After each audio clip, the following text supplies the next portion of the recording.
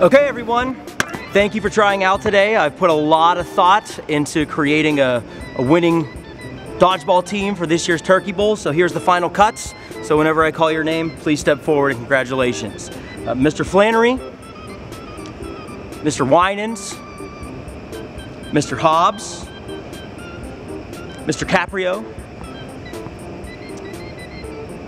Mrs. Hackworth. Yes. She's pregnant! Is that even allowed?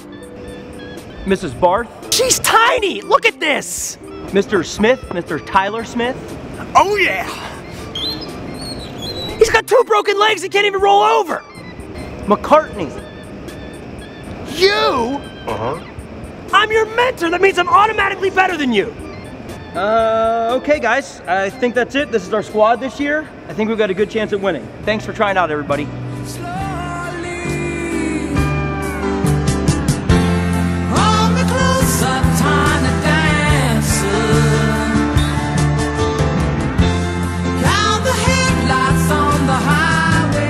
This greasy meatball out of my face.